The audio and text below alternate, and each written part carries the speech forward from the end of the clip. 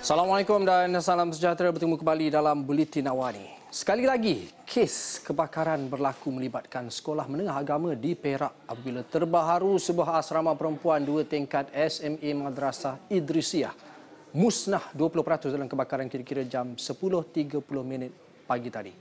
Kebakaran tersebut berlaku di tingkat atas bangunan asrama kayu itu dan melibatkan siling serta perkakasan dalaman. Ketua Operasi Balai Bomba dan Penyelamat BBP Kuala Kangsa, Abdul Aziz Mat Nur berkata, pihaknya menerima panggilan kejadian pada jam 10.52 pagi sebelum bergegas ke lokasi. Sebaik sahaja tiba di tempat kejadian, pihak bomba mendapati sebuah asrama perempuan kelas B sedang terbakar di tingkat satu.